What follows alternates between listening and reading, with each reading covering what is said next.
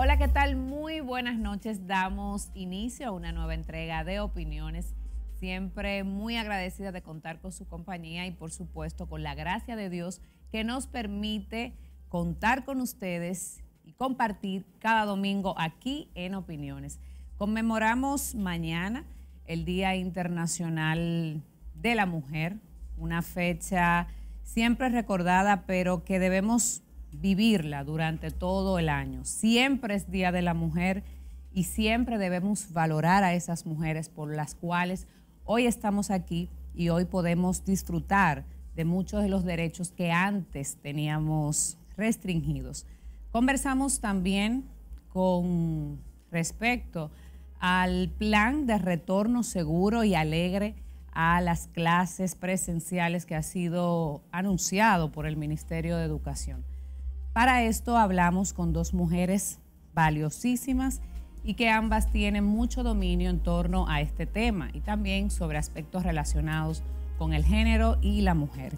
Conversamos y recibimos hoy en opiniones a la doctora María Lorain, quien es la directora del Colegio Notre Dame School, y también a la abogada y comunicadora Claudia Castaños. Con ellas y con ustedes abordaremos estos tópicos. Acompáñanos en esta entrega de opiniones. Iniciamos de inmediato.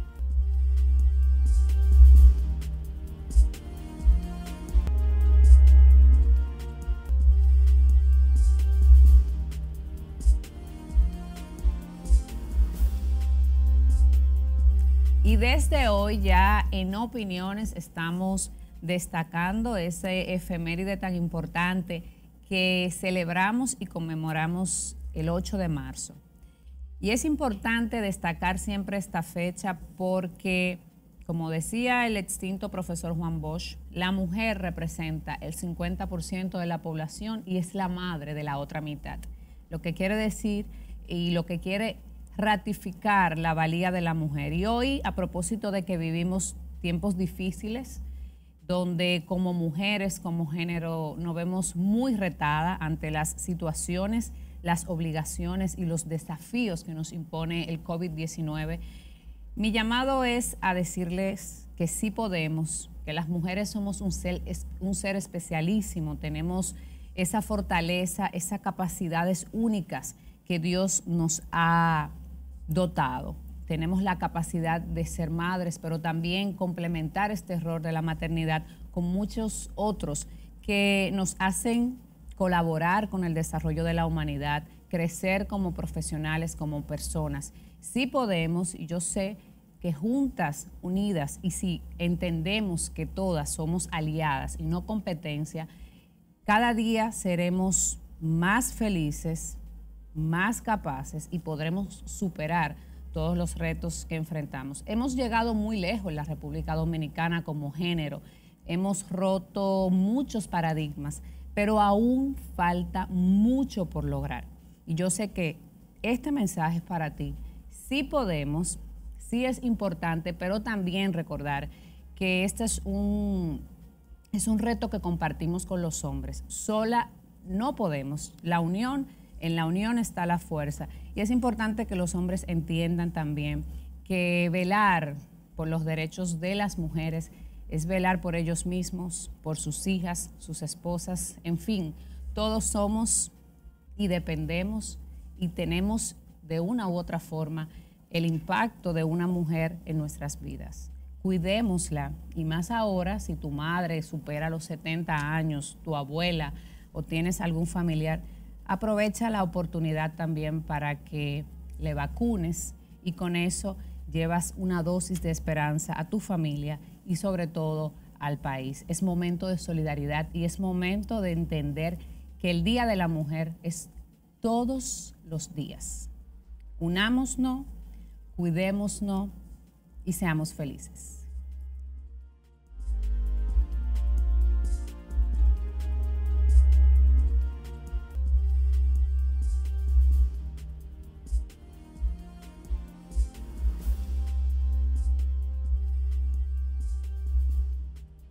Es momento de darle la bienvenida a nuestras invitadas de hoy. Les decía que son dos mujeres muy exitosas, valiosísimas en las diferentes áreas de su desempeño profesional.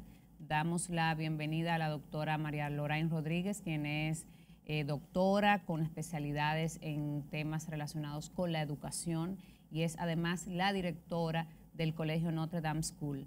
Y también recibimos a nuestra amiga y colega, la abogada Claudia Castaños, destacada en los medios de comunicación por sus opiniones sobre temas legales diversos. Así que sean ustedes bienvenidas a Opiniones y quiero aprovechar que mañana se conmemora el Día Internacional de la Mujer para desde aquí mandarles un abrazo, más que de felicitaciones, de motivación a seguir haciendo ese gran trabajo y brindando esos aportes a nuestro país que están haciendo día a día. Buenas noches, bienvenidas a Opiniones.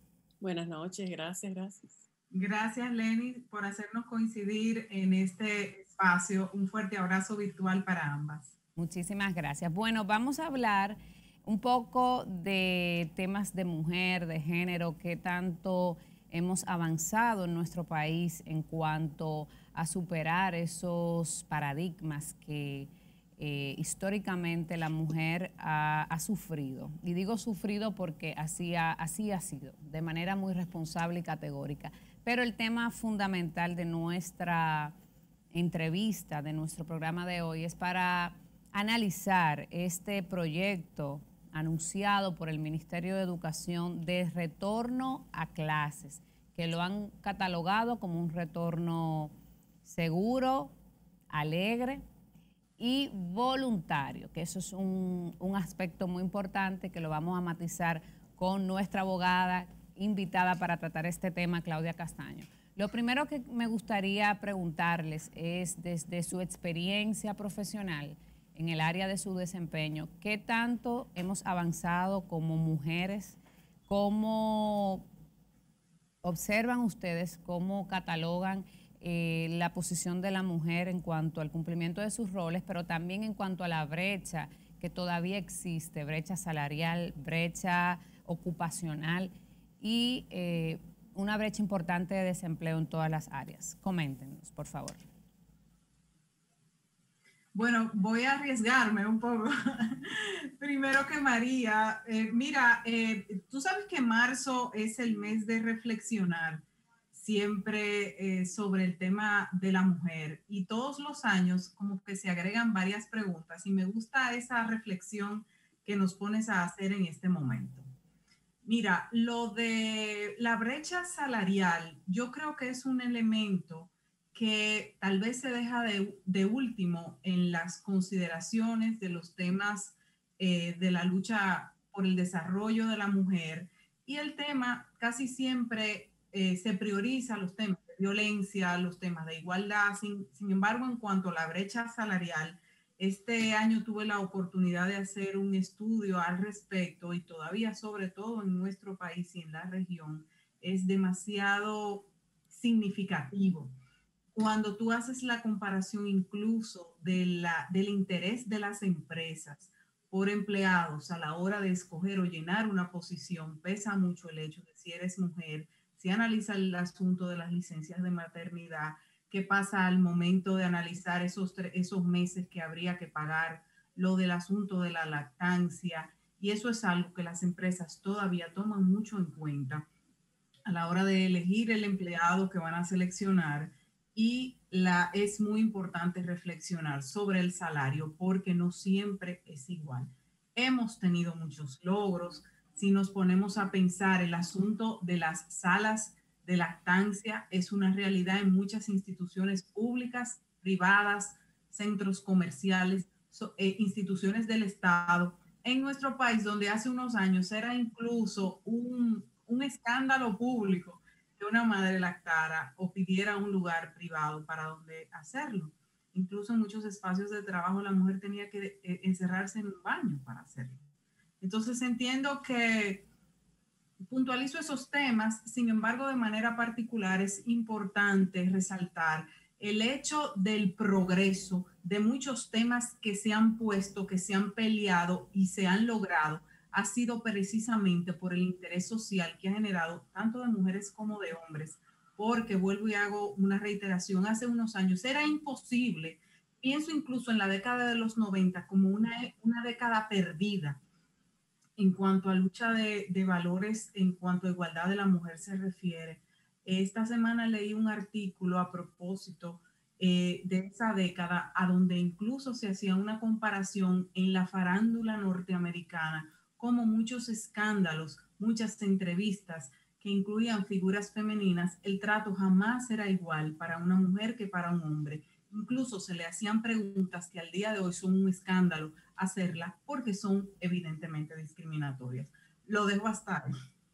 Muy eh, interesante todo eso que señala y justamente Claudia, Inicio con esa pregunta porque parte de esos temas que mencionas, como violencia de género, desigualdad eh, social en muchos ámbitos, están relacionados con la dependencia financiera eh, de la mujer y también con esa diferencia salarial y esa discriminación salarial entre hombres y mujeres. Y yo creo que si no hacemos las cosas distintas, vamos a obtener resultados diferentes. Entonces tenemos que comenzar a enfocar estos temas de desarrollo, de derechos y de igualdad de género en función de otros aspectos que quizás los hemos marginado. Vamos a escuchar ahora la opinión de la doctora María Lorain. Pues yo tengo mucha esperanza, porque yo veo mis alumnas muy empoderadas y las que ya se graduaron, asimismo están tanto nacional como internacionalmente yo veo las chicas en el aula que no tienen miedo, que saben lo que quieren, que saben hablar de tú a tú con los, chicos. Eh, veo también a los chicos que están menos violentos, menos agresivos, porque ahora entre las chicas es más popular la amabilidad, la inclusión, la no discriminación, y todos estos movimientos han enriquecido no solamente a la mujer, a las niñas, sino también a los hombres, a los jóvenes. ¿eh? ¿Por qué? Porque ellos en, cierta forma se han dado cuenta de que eso no iba para ningún lado, de que esas chicas inteligentes, empoderadas, esas muchachas que saben lo que quieren, que pueden ser sus jefes. Ellos saben que es mejor tratarlas desde, desde el colegio, tratarlas muy bien, tratarlas con respeto, tratarlas de igual a igual.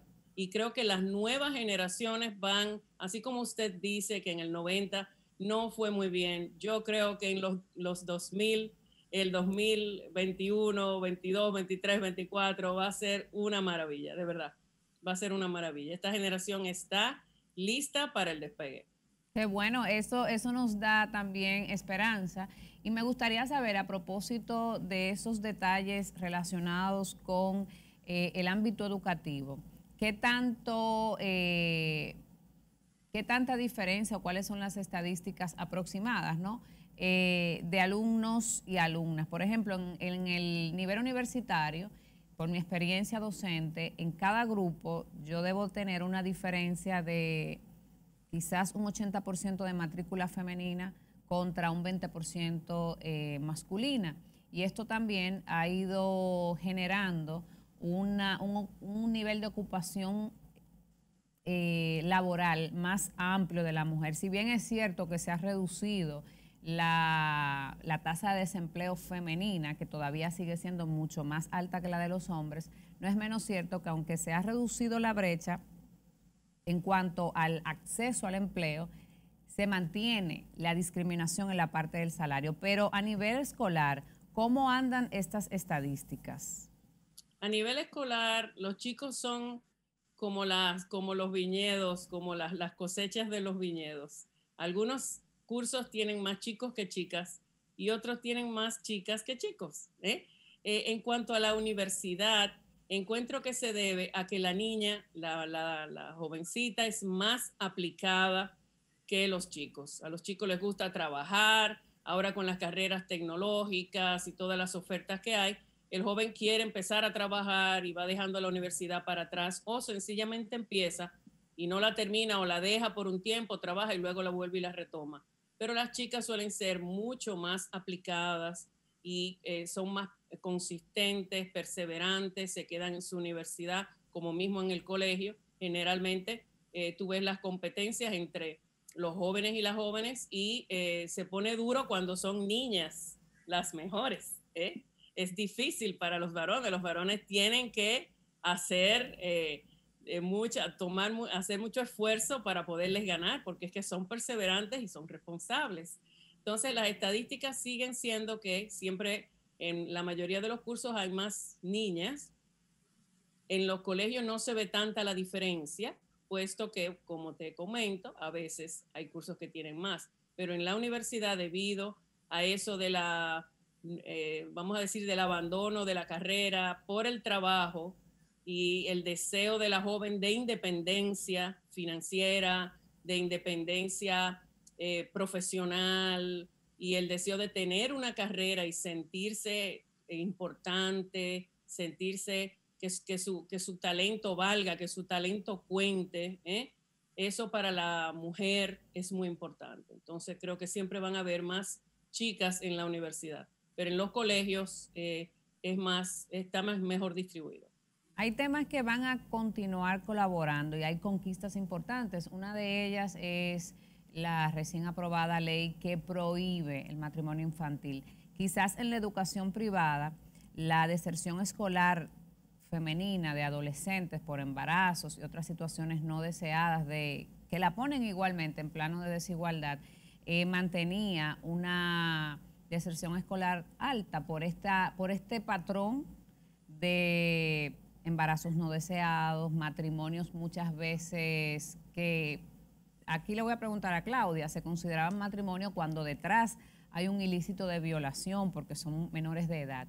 Entonces, ¿qué tanto puede aportar Claudia? Y me gustaría saber tu opinión jurídica sobre ese aspecto que resalté detrás de estos matrimonios concebidos, si tú eres de, eh, esa línea, ¿no? Que concibe este tipo de relaciones como una violación eh, por justamente lo que establece nuestro Código Penal y nuestras leyes en este sentido. Mira, casualmente, Lenis, es importante que pongas ese tema en el margen del 8 de marzo, en este escenario. Eso ha sido una conquista dominicana que es, es curioso, que dio tanto trabajo convencer a la población de lo que estaba ocurriendo en la, cara de todos nosotros, eh, una situación legalizada prácticamente y que se caracterizaba cuando tú lo llevabas a la casuística en situaciones a donde la diferencia de edad era altamente significativa y en muchos casos inexplicable, como incluso adultos mayores, ya de la tercera edad, casaban con menores de edad.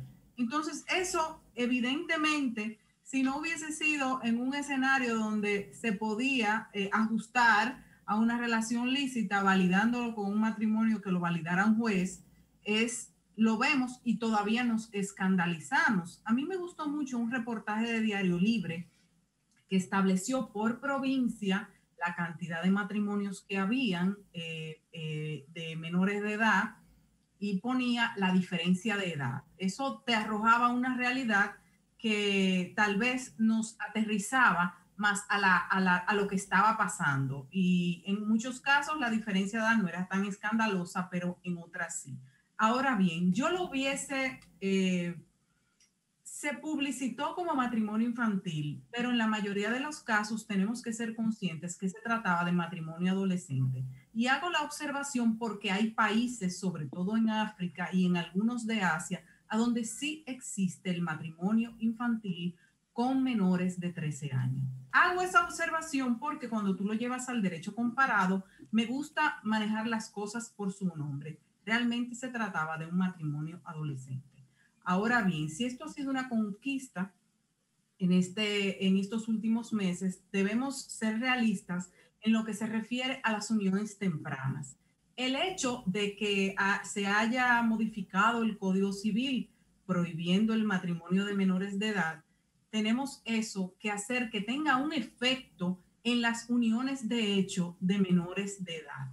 Ahora bien, nuestro código penal, lo importante en nuestra ley de niños, niñas y adolescentes, eh, lo bueno es que tipifica las relaciones con menores de edad y establece cuándo hay un ilícito penal. Ahora bien, las uniones tempranas, incluso entre menores de edad, se ven, se ven y, e impacta mucho el, el, el, espacio, si es urbano, si es rural, si es en condiciones de hacinamiento, si es en un renglón educativo bajo, todo eso impacta. Ahora bien, eso hay que empujarlo con acciones educativas. ¿Por qué? Porque eso todos sabemos. Cuando lo bueno de esta discusión del matrimonio adolescente es que nos arrojó datos, nos arrojó estadísticas específicas, no porcentajes inflados o desinformación. Al contrario, la gente se empoderó del tema, la gente entendió el tema, pero ahora que lo logramos en ese nivel, eso hay que llevarlo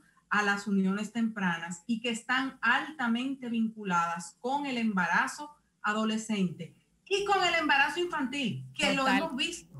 Totalmente se escandalizaban cuando en una resolución que hubo para la, que emitió la Junta Central Electoral a propósito de que había que cedular a menores de edad, como lo dice la ley, se escandalizaron viendo que había menores de 12 años que, que, que, se citaban eh, precisamente en la resolución. Y es por esto, porque se ha dado la casuística. Entonces, si tú tienes una menor que no puede declarar a su vez un menor de edad, tú tienes ya personas que arrastran una situación de que no tienen documentación para hacer una vida civil. Y en, muchos, en muchos casos, Claudia, estos menores que nacían de matrimonios infantiles o, no matrimonios, sino uniones infantiles y adolescentes, eh, tenían que ser declarados por los abuelos. Y esto iba generando ya una situación que este menor la iba a arrastrar de por vida porque no iba a poder tener su propia identidad. Este es un tema que de verdad nos daría para hacer un programa y creo que es importante que lo sigamos abordando porque hay una diferencia y por eso puse el tema en el tapete entre lo que es el matrimonio eh, infantil visto desde el punto de vista cuando hay un adulto involucrado a cuando hay una relación entre adolescentes e incluso entre, entre menores de edad. El tratamiento y la sanción no aplica en todos los casos y no es igual para todos. Tenemos que hacer una pausa. Regresamos en breve con esta interesante conversación con Claudia Castaños y María Lorain Rodríguez. El Día Internacional de la Mujer se celebra cada 8 de marzo, otro eslabón de una lucha que tiene esta fecha de referencia a momentos marcados por movilizaciones de protesta y tragedias. Esta semana en Los 5 más presentamos 5 hitos y momentos sucedidos un 8 de marzo en favor de la igualdad. En el puesto número 5, un 8 de marzo de 1857, unas 20.000 costureras y activistas en huelgas marcharon por las calles de Nueva York para reclamar igualdad de derecho con los varones y mejores condiciones de trabajo, entre ellas que se les permitiera un descanso para amamantar a sus bebés. En el cuarto lugar, en 1908, un 8 de marzo, un centenar de trabajadoras murieron calcinadas en el incendio de la fábrica de Cotton Textile en Nueva York en un siniestro probablemente provocado por sus dueños, quienes acusaron de haberlas encerrado para impedir que se sumaran a una marcha de protesta.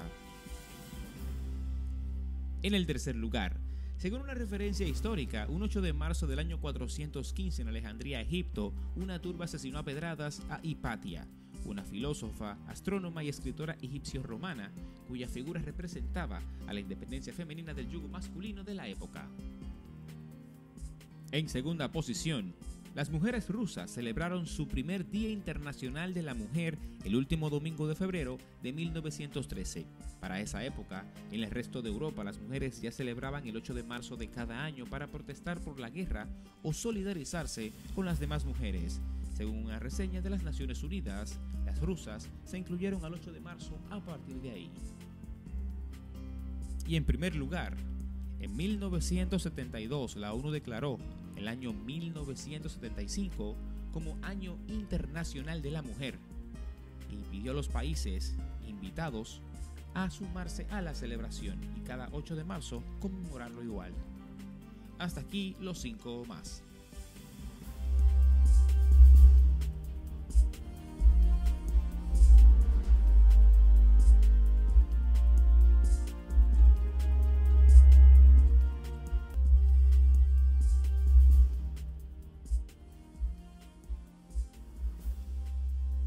Gracias por continuar en opiniones. Recuerden nuestras redes sociales arroba Lenis Opiniones y arroba Lenis García G. Vamos a conversar ahora acerca del tema eh, del momento. El pasado viernes el Ministerio de Educación Superior puso en la palestra pública, informó a toda la población sobre cuál es el proyecto, por así decir, cuál es el plan que tienen para el regreso a clase. Un anuncio importante en este sentido es que a partir del 6 de abril, luego de la Semana Santa, comienza el retorno a la educación presencial. En este sentido hablamos con dos personas empoderadas en este tema. Claudia Castaños, por su parte, fue de las voceras y esas voces que estuvo pidiéndole al Ministerio de Educación el regreso a la clase presencial y por su parte, como sabemos, eh, María Lorain Rodríguez es directora de un centro privado con una vasta experiencia en estos temas. Me gustaría saber cuál es la opinión de cada una de ustedes sobre este plan de regreso a la clase presencial que ha anunciado el Ministerio de Educación. Me gustaría comenzar con la doctora María Lorain desde el punto de vista de la educación privada cómo va a ser todo esto y cuál es su parecer particular sobre eh, el regreso a clase en abril y sin haber completado un porcentaje importante de la vacunación. Primeramente, eh, darle las gracias y reconocer toda la labor que está haciendo el gobierno dominicano. Ayer yo tuve una reunión con los líderes de las escuelas mentoras de Latinoamérica y muy pocos países han incluido a los profesores, como lo ha hecho el gobierno dominicano, como entes importantes en el proceso de la vacunación, poniéndolos junto con los envejecientes y los eh, profesionales de la medicina.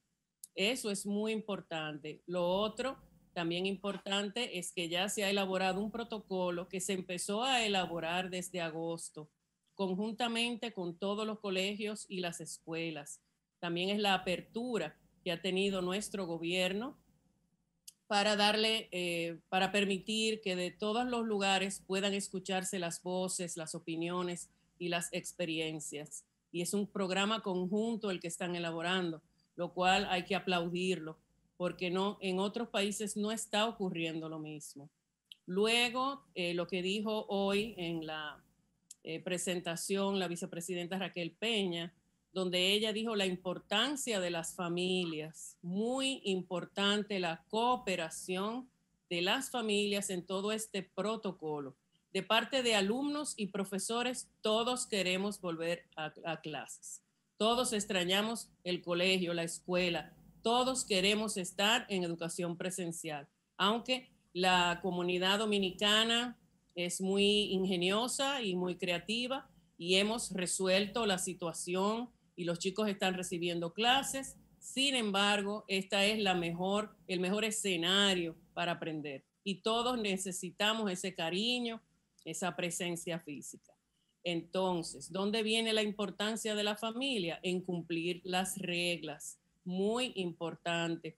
Muchos de los eh, directores de colegios en Argentina, en Uruguay, Paraguay me comentaban que muchos padres llevaban los niños enfermos o niños que se sospechaba que pudieran estar enfermos. Entonces es aquí donde es importante que esa familia ponga su parte en este plan. Ya el gobierno está poniendo su parte, los colegios y escuelas están poniendo su parte con todo el plan que se está haciendo, con la vacunación, con la preparación de los centros, con un protocolo, un protocolo que lleva incluso hasta el diseño del aula.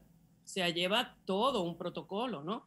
El, este, comportamiento. Y este, protocolo es igual para los centros públicos y los privados. Por ejemplo, eh, habla de que tienen que tener lugares ventilados. Muchos colegios privados, en su mayoría, usan eh, aires acondicionados y quizás algunos por tema de infraestructura no tienen, por ejemplo, ventanas. ¿Qué pasa en este caso? ¿Qué ha dicho el ministerio y si estas medidas van a aplicar igualmente para los centros privados. Sabemos que no entran todos de inmediato, sino eh, la base o la educación inicial. Entonces, ¿cómo será esto? Entiendo que los colegios privados van a tener que reestructurar su edificio, van a tener que abrir ventanas porque es altamente necesario. El gobierno habló de extractores, eso también es otra solución pero no es lo mismo como abrir ventanas. Es mucho mejor abrir ventanas. Entonces, si no tiene, es el momento perfecto para ir haciendo esos espacios, porque es muy importante.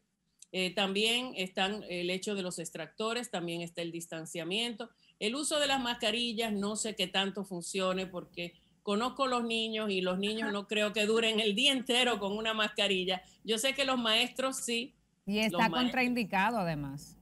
Sí, es cierto. ¿eh? Yo sé que los maestros sí, pero eh, vamos a hacer, a poner de nuestra parte con maestros vacunados, con todo el personal de apoyo, vacunado también, que todo ese, ese, ese plan lo ha hecho el gobierno dominicano y hay que aplaudírselo porque ha sido extraordinario el esfuerzo. Muy ¿eh? bien. Claudia, tu parecer, y hay un punto importantísimo que nosotras como abogadas destacamos y es el hecho de que el retorno es voluntario y los padres tendrán que suscribir una autorización o descargo eh, en favor del centro educativo correspondiente y de las autoridades de educación para que nuestros hijos puedan retornar a clases presenciales. Tu opinión general sobre este plan, yo me imagino que tú estás muy contenta porque has sido una voz cantante en la solicitud del regreso a clases. Mira, eh, casualmente estuve revisando el, el, protocolo, es aproximadamente un texto de 55 páginas. Es importante que se haya puesto, se haya hecho público en un esfuerzo combinado, no solamente del Ministerio de Educación, sino también del Ministerio de Salud y que la vicepresidenta haya sido parte de esto, ya que ella ha sido la voz cantante del Estado en lo que tiene que ver con los aspectos de salud y sobre todo con el plan de vacunación. Claudia, estamos viendo en pantalla, discúlpame que te interrumpa, este es el protocolo, un video que está colgado en la página web del Ministerio de Educación. Nosotros lo estamos presentando sin audio, pero eh, lo que la visual es todo el protocolo de lo que estás mencionando y las personas que quieran accesar pueden entrar al canal de YouTube del Ministerio de Educación y allí pueden eh, ver el video y conocer, porque es mucho más fácil que leer las 55 páginas. Y lo importante, Lenis, también es que, como decía María, las familias tienen que ser parte y estar completamente informadas y ser, hacer un compromiso con la institución, porque al final es un proyecto no solamente de la, del sistema educativo, sea público o privado, no es solamente una responsabilidad del centro educativo, es también responsabilidad de la familia. Hay que pensar en esto como sociedad. Sin embargo, así como es importante el derecho a la salud, que está por encima de muchos otros, tenemos el derecho a la educación que estaba haciendo ya desde el punto de vista, de, desde viéndolo desde varios puntos, estaba siendo afectado. Eh, yo me quejaba hace un par de semanas, no decía quejaba, ponía el tema y, y ponía aspectos que entendía que independientemente de la defensa de la salud y la protección de la salud de, parte del Estado, habían espacios que no se habían cubierto. Me refería incluso a la educación especial, me refería a, mi gran preocupación sobre la deserción escolar a nivel público y la deserción universitaria, que, no, no, no vamos a entrar ahí, pero también es sumamente preocupante. Ahora bien, siendo un regreso voluntario, la familia, los padres o tutores del menor aceptan y firman un compromiso para esto el padre o tutor debe conocer ese protocolo, debe saber cómo manejarlo y sobre todo tiene que ser parte de, que todo esto funcione, porque no puede mandar, como decía María, un niño enfermo a la institución. ¿Cómo garantizamos eso? ¿No crees, Claudia, que ¿Tendría que haber alguna penalidad para esos padres que de manera irresponsable envíen un niño que tiene síntomas o que envíen a un niño a la escuela cuando saben que en el entorno familiar hay una persona que está en ese momento positivo al COVID-19? Hay centros educativos que están haciendo una serie ya de, de documentación legal para esto, formularios, consentimientos, una serie de cuestionarios y preguntas que la familia tiene que llenar cada vez que el menor vaya a accesar a las instalaciones. Eh, entre ellas están las que mencionas, de si hay alguna persona con algún síntoma, si el niño ha tenido algún síntoma, si al niño se le ha hecho un tipo de analítica, pero hay que recordar que todo esto es importante porque se pone en riesgo no solamente ese niño que está yendo ahí, su profesor, el personal del centro educativo, y sus compañeros, sus familias, porque al final se trata de un vector. Ahora bien, eh, hay, que, hay que comenzar, hay que comenzar. Y lo que nos preocupaba anteriormente, que el ministerio, yo tenía de manera particular la percepción, el Ministerio de Educación entendía que habiendo preparado una producción de radio, televisión para las, y, y videos incluso para las clases a distancia, ya íbamos a cubrir el año escolar 2020-2021, cuando todas las familias, incluso las de colegios privados, son conscientes de que no es suficiente. Inclusive la salud emocional de los menores se está viendo al día de hoy sumamente afectada. Algo que no vi en el protocolo, te lo comento María por si tienes algo incluso que aportarnos, es el tema de la educación física. Los niños han estado sometidos durante los últimos 12 meses a una falta eh, de, educación física, que voy a poner ahí el asterisco porque es importante también desarrollarla y entiendo también que los menores deben también ser fortalecidos por sus instituciones educativas en cuanto a salud mental se refiere. Habrán consecuencias sobre este año estando eh, todos eh, viéndose desde lejos, a distancia, el roce social, la interacción, eh, la, cercanía en ellos que se están desarrollando, esto es sumamente importante tiene el colegio que hacer hincapié no solamente en matemática, lenguaje, naturales y sociales, que, que ya tienen sus lagunas de por sí, sino también que hay que poner eso como un punto pendiente. Me llama la atención y eso es evidente, aunque hay quienes han tenido sus quejas, esto va a ser escalonado Vemos que comenzarán con la educación inicial, se comenzará por provincias. Me inquieta un poco que se queda de último el Distrito Nacional y el Gran Santo Domingo por la, evidentemente, que es donde se focaliza la mayor cantidad de casos. Eso irá en progreso. Ahora bien, puntos a, tomar en cuenta. Esto no debe retrasarse más de la cuenta. ¿Por qué? Porque esto, va, esto independientemente va a ser prueba y error prueba y error. En otros países ha sido igual. Si hay un contagio, se cierra durante unos días, se reabre nuevamente, pero hay que reabrir. ¿Por qué? Porque si lo vemos en un tema igualitario, todos los sectores de la sociedad, en su mayoría, se han ido eh, adaptando, han ido incorporándose. Eh, hay incluso sectores de la economía que nunca cerraron. Entonces tenemos eh, no tenemos todos que ser conscientes de que no tenemos a los menores en nuestra casa, encerrados todo el día. Si tú lo puedes llevar a un hotel, si lo puedes llevar a una plaza comercial, a un restaurante, si a un restaurante, si puede estar en espacios públicos, si puede estar en un banco haciendo una fila contigo o en una tienda, el menor debe estar en su centro educativo donde va a estar incluso más seguro. Hemos visto casos, lo hemos visto en las redes sociales, todos nosotros estamos en la calle y los vemos, de menores que durante horario escolar, ellos no están sentados delante de su televisión o de su computadora. Bueno, de, de, hecho, Claudia, yo he visto casos... Jugando, Lenny. Casos, ¿Quién lo, ¿Quién lo cuida? No hay luz. Claro, pero también casos de menores que los padres se lo han tenido que llevar a sus puestos de trabajo porque no tienen quien los cuide y allí se exponen. Esos puntos que eh, destacaba Claudia, yo le sumo, eh, doctora, para escuchar su parecer. Lo del monitoreo por municipio eh, me llama la atención y me parece una actitud responsable el hecho de que el ministerio advierte que están conscientes de que pueden haber rebrotes por el regreso a clase, pero que tienen igualmente un plan para estos casos. Y me llama de manera especial la atención cómo van a poder los centros educativos llevar la dualidad de la educación presencial con la educación a distancia cuando tienen la misma matrícula de profesores. En el caso, por ejemplo, de la educación privada, donde es una educación a distancia sincrónica, donde el profesor tiene contacto directo con los alumnos. ¿Cómo se va a lograr esto? Sí, tomando en cuenta que el retorno es voluntario. Vamos a suponer que en un grado el 50% decida regresar y el 50% no. ¿Cómo vamos a lograr que vayan a la par con lo que están recibiendo en las aulas y lo que van a recibir ah, por la vía presencial. Esos tres aspectos me llaman mucho la atención. Le sumo los de Claudia para escuchar entonces su experiencia y lo que le han comentado ustedes de manera directa desde el Ministerio de Educación. Bien, eh, vamos a, ayudarnos de la tecnología, a hacer como cuando teníamos un niño enfermo en el aula que se ponía el niño en la computadora y en la laptop él eh, participaba de su clase.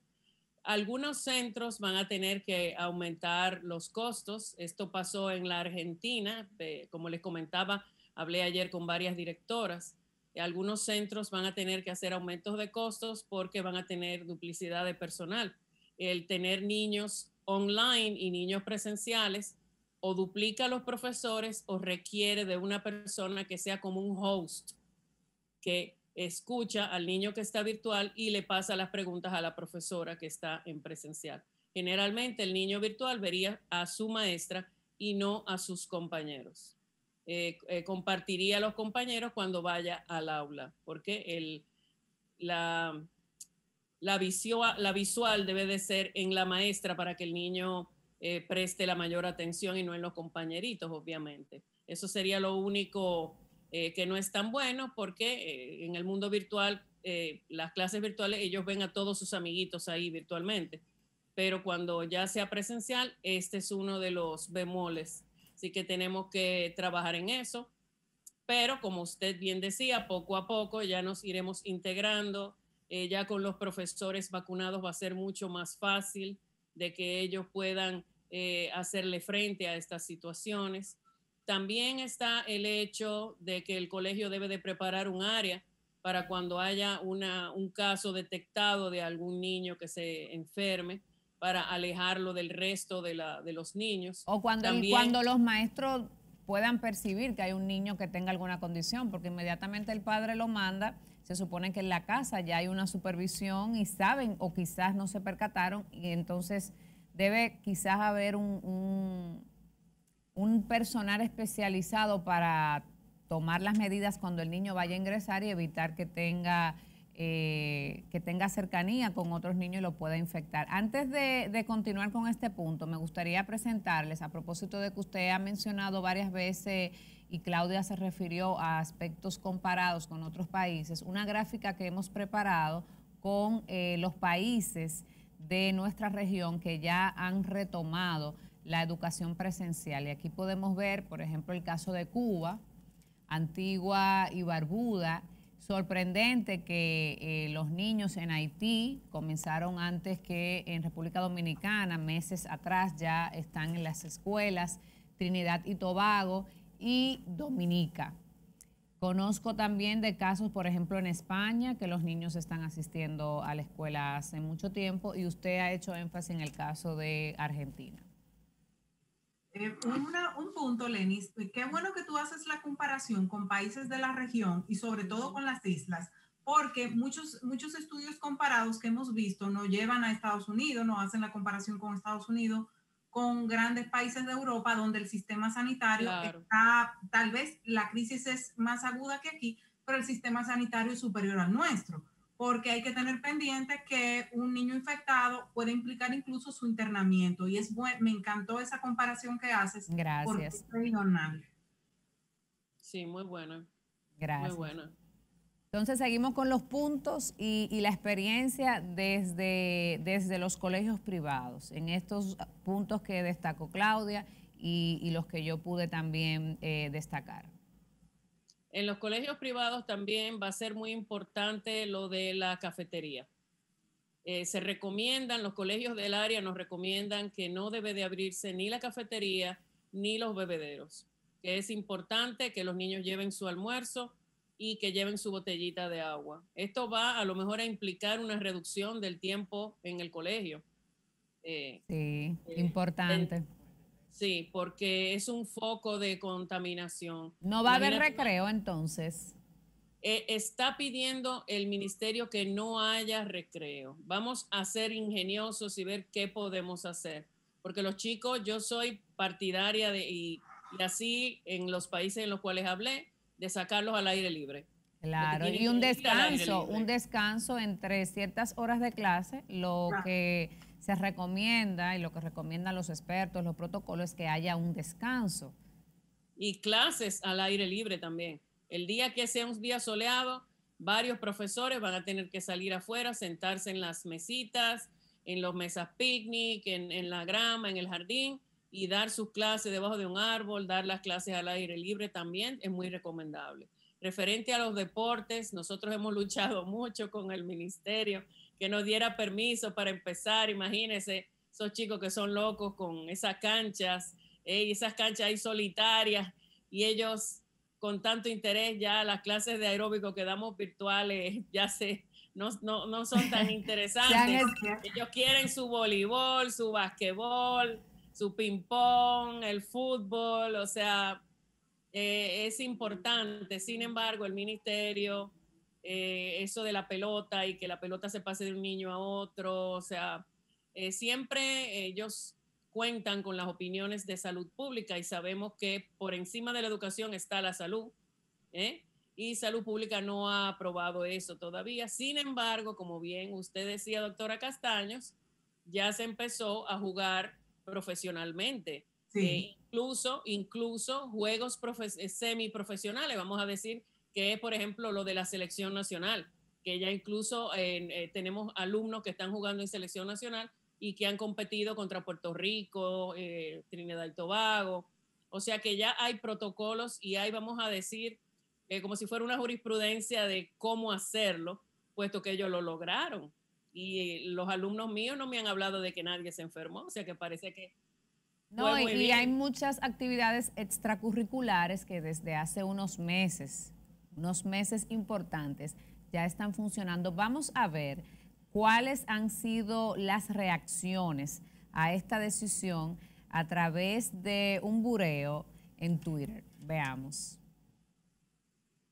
Vemos aquí José Tomás Califica de imprudente el inicio de clases presenciales cuando solo han vacunado al 1% de la población. Vamos a pasarlo todos y al final los comentarios. Bueno, aquí tenemos el anuncio oficial del Ministerio de Educación, que volveremos a los centros educativos en los municipios donde el índice de positividad sea inferior a un 5%. Eso es un punto muy importante en todo este protocolo y esta decisión. Será de forma gradual, como dijimos, voluntaria y escalonada. Eh, aquí, bajo el lema Cuidando la alegría y la seguridad del reencuentro, el MINER, en compañía del Gabinete y Salud Pública, presenta el protocolo general y el cronograma para retorno a las aulas de forma gradual, voluntaria, controlada y bajo consentimiento de los padres. Bueno, eh, de las opiniones que se recogen al momento de que fue presentada esta decisión. Eh, vemos, por ejemplo, en el caso de José Tomás, que dice que ha sido imprudente, eh, pero de todo lo demás me gustaría eh, escuchar. No he visto en muchas opiniones, por lo menos a través de la cuenta de, Twitter, que estén en contra de esta medida. Sí, muchas inquietudes de la gente sobre aspectos como lo que estamos tratando aquí. Las clases de arte, por ejemplo, ¿qué va a pasar? Wow, nosotros estamos dando clases de arte virtual y nos está yendo súper bien. Yo creo que es, incluso, María, ha sido un salvavidas en medio de todo esto, porque ha hecho que las familias hayan eh, tenido que ser creativos y eso es hasta un escape para ellos. Eh, me llama la atención eh, quien comentó, Lenis, sobre que lo encontraba imprudente, sin embargo, eh, son personas que están integradas en, otras actividades sociales eh, y productivas en el país. Eh, lamentablemente, hay que pensar en que cuando esto comenzó hace un año, teníamos muy poca información sobre la enfermedad y no teníamos manejo sobre la misma. Incluso de manera personal tuvimos que asumir eso como familia y todo el país se tuvo que encerrar. La realidad ya no es esa a muchas personas, le dio a, miles de personas en el país, le dio a profesores, le dio a estudiantes, le dio a familias, le dio, y la gente está yendo a todos los lugares públicos. No tiene sentido tener la escuela claro. Una, un aspecto importante que el tiempo ya eh, lamentablemente se nos agota, no me queda claro. ¿Va eh, el Gran Santo Domingo, el Distrito Nacional, a iniciar el 6 de abril habla de eh, cuáles son los grados, las fechas específicas, si nos las puede eh, decir de manera muy rápida y breve, doctora, porque el productor está aquí ya haciendo mucha señas, como si fuera esto un juego de básquet, para que concluyamos la entrevista. Si abre después de Semana Santa, será preescolar, que es el que más necesita ahora mismo abrir, y luego empezarán con primero y segundo, de básica. De básica, ¿y el bachillerato? Ese es el último, el último capítulo. Pero no tiene una fecha todavía establecida o, ya se tiene fecha. No, no se tiene fecha todavía. Me llamó la atención que hablaba de la educación de adulto, del ciclo, no entendí mucho a qué se refiere, eh, cuál es esta educación especial que ellos citan como educación de adulto, ciclo de adulto. Sí, la educación de los adultos. Ah, bueno, sí, sí, María, continúa, continúa. No, no, no, la educación de adultos es la. Sí, diga, diga usted. No, María, continúa, perdón. la educación de adultos es el programa que tiene el gobierno y es muy importante también porque ellos también tienen sus sueños y es importante que cumplan sus metas. Y como ya son adultos y sí pueden cumplir a la perfección todo el protocolo, eso sí que debe de abrir de inmediato, de inmediato. Bueno, darles las gracias. Un mensaje final porque se nos agotó el tiempo, lamentablemente. Claudia, tú sabes que el tiempo en la televisión es muy traicionero. El nuestro ya nos traicionó, así que un mensajito muy breve eh, para despedir y concluir esta entrega de opiniones. Adicionando lo que decía María, creo que eso me da pie a pedir que creo que hay que ya incluir a las universidades. Es fundamental, son adultos, son adultos y ya están involucrados en la vida productiva. Gracias por la invitación. Gracias por la invitación y chicos, prepárense que vamos a abrir. Bueno, así será. Gracias a ustedes también por acompañarnos, por la receptividad de compartir con la audiencia de opiniones. Ustedes recuerden que aquí la opinión es de todos. Nos veremos con el favor de Dios el próximo domingo.